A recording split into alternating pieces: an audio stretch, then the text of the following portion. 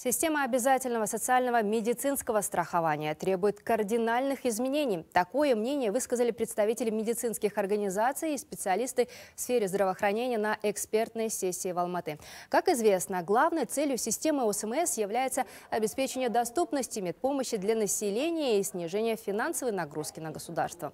Однако, по данным участников встречи, граждане страны не удовлетворены качеством медицинских услуг.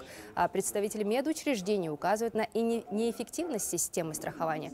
Поэтому они предлагают дать возможность казахстанцам самим выбрать вид страхования и снизить стоимость медицинских услуг. Кроме того, жители страны должны получать возможность проходить скрининг в любой медицинской организации, а не только по месту прописки.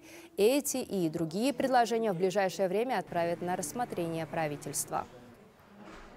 Нам нужно постепенно, не сразу, но постепенно в течение года перейти на добровольную систему здравоохранения.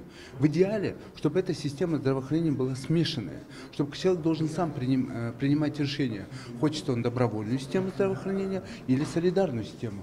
Он хочет свои деньги в общий котел бросать или свои деньги оберегать. Если его деньги на его здравоохранение собираются, эти деньги должны быть, э, должны не просто накапливаться, они должны приумножаться. И при умножении их должно быть выше, чем инфляционный процент на рынке.